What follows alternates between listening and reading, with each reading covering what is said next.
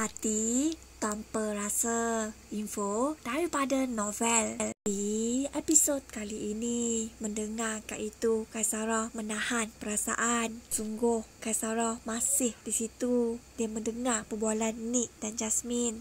Nick, I tahulah kalau kekasih you, mestilah you akan diva akan dia malam ni dengan dress dari Perika Fashion terkenal.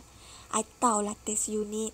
Taste you bukan standard macam ni. Ujar Yasmin lagi. Nit mengangguk. You know me very well, Yasmin.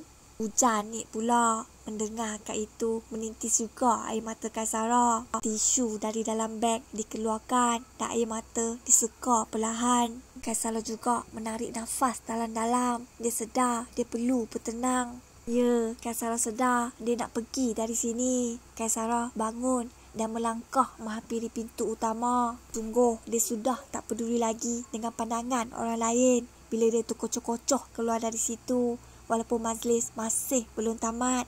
Sarah mengelap air mata. Hebat sangat ke perempuan tu. Ngada-ngada je lebih. Aku lagi cantik dari kau lah.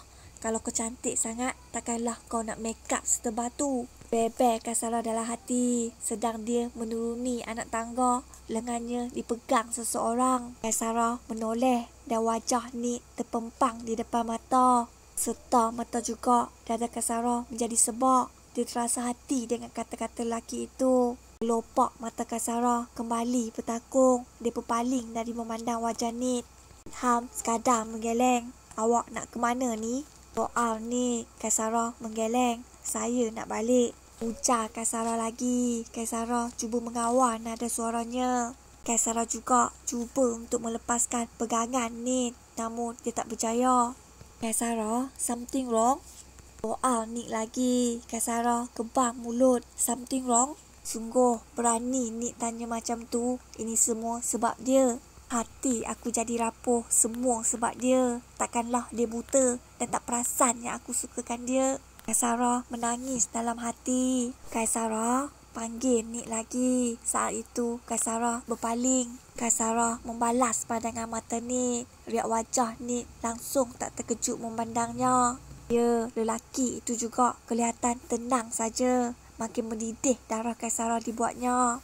Kaisara mulai menggeleng hantar saya balik. Minta Kaisara lagi. Namun Nik tetap diam. Kak Sarah menguatkan suaranya. Saya cakap, saya nak balik. Hantar saya balik. Dan mendengar Kak itu, Nit menarik kasar tangan Kak Sarah menuju ke kereta. Usai masuk ke kereta, masing-masing diam membisu. Tiba-tiba, Nit bersuara, saya nak bawa awak ke satu tempat.